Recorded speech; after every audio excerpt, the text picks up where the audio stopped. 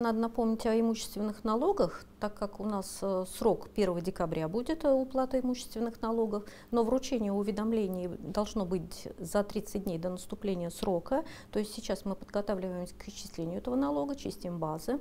А, по категории Изменения прошли льготников, то есть теперь у нас люди с 2020 года, но за 2019 год мы сейчас начисление делаем, попали в категорию льготников люди предпенсионного возраста.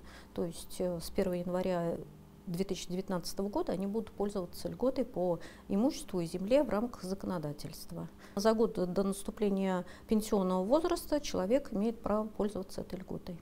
Если у нас получается э, какую-то льготу там по военнослужащим или участников ВОВК, они обязаны заявить эту льготу, они носят, она носит заявительный характер, то сейчас по законодательству получается предпенсионный возраст и пенсионеры сведения должны нам предоставить ПФР.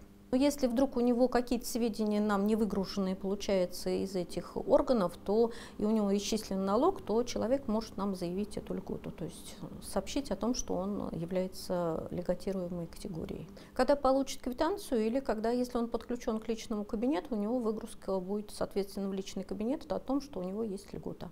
Хотела по имущественным налогам еще напомнить нашим гражданам о том, что они должны еще уплатить налог, который был исчислен за 2018 год, так как у нас задолженность на 1 января 2020 года составляет 657 миллионов по физическим лицам. И основная масса – это транспортный налог, где задолженность 377 миллионов.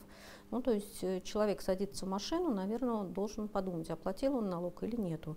Конечно, мы предпринимаем все меры для взыскания этой задолженности отработали порядка 16 тысяч э, судебных приказов, то есть это уже в принудительном порядке взыскиваем.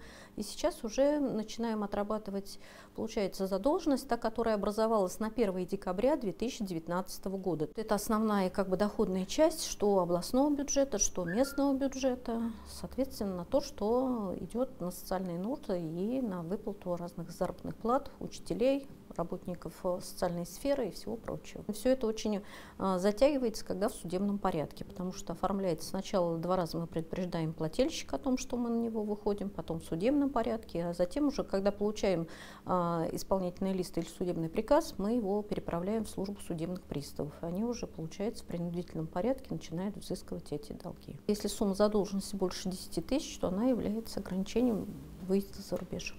Но люди, наверное, понимают все равно, потому что это будет взыскано. Никто не спишет и никто не простит, как раньше рассчитывали, что если я не уплатил, то с меня никто не взыщет. Нет, налоги все взыскиваются.